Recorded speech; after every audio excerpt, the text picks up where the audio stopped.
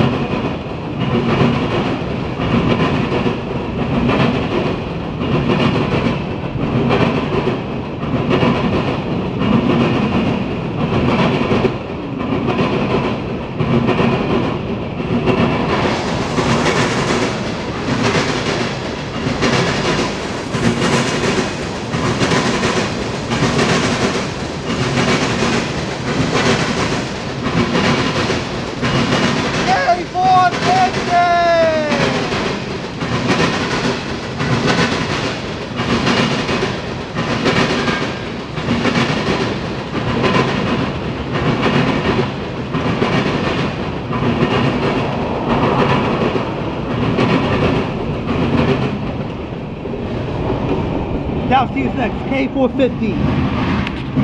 I'll have to look up on the CSX Train Symbols website when I get home.